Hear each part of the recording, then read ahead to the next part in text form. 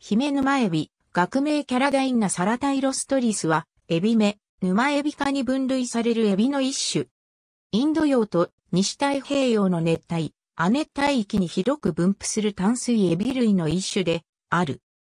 近似種に、コテラヒメヌマエビシー、セラベンシスでマン、1892という別種がいるが、ヒメヌマエビの亜種の可能性も指摘されている。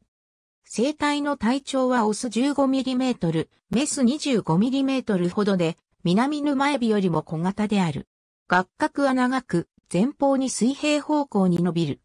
学角の上下縁には、巨子が並び、このうち上縁の葉は、学角だけでなく、東京港の背中側まで続く。体型は丸みを帯びた防水型で、ふ足は細く短い。腹眼は赤く、体は有色部と白色部にくっきり色分けされる。模様のパターンは二通りあって、背中に白っぽい太い縦線が入るものと、体に数本の白っぽい横縞が入るものがいる。横縞の個体には、縞が太く、規則的な横縞になるものもいる。有色部の体色は赤、紫、茶色、緑黒色、黒など鮮やかで変異に富む。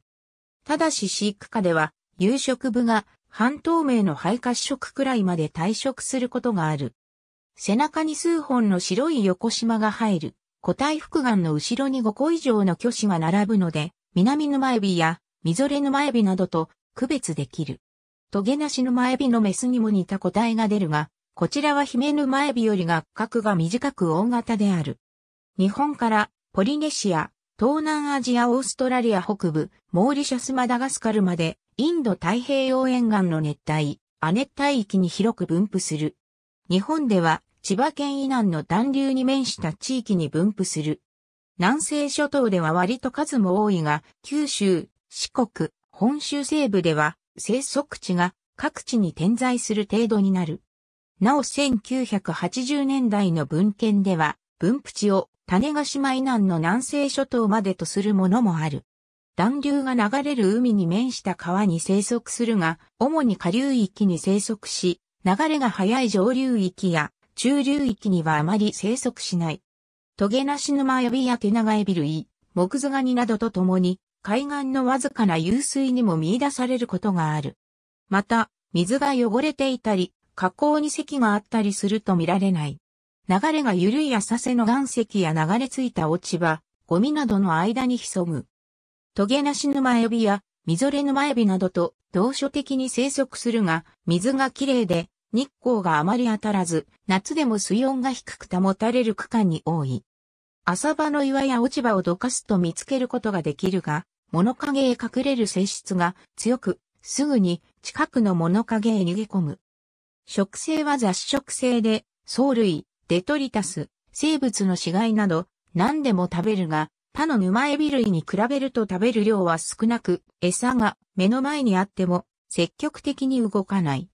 繁殖期は春から夏にかけてで、交尾後にメスは長径 0.5mm ほどの楕円形の卵を産み、腹足に抱えて孵化するまで保護する。孵化した子供はゾエア幼生の形態で川の流れに乗って海へ下る。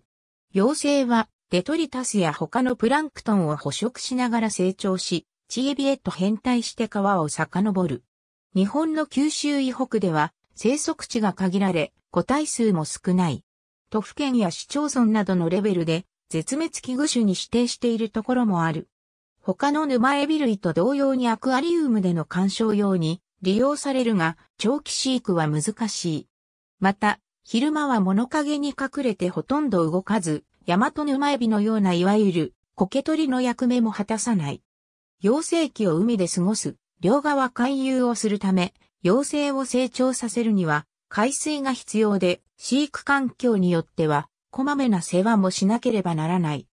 ABCD 三宅貞義、現職日本大型甲殻類図鑑愛 ISBN 45億8630万620 1982年保育者、千葉県環境生活部自然保護課、千葉県レッドリスト2006年改訂版。ありがとうございます。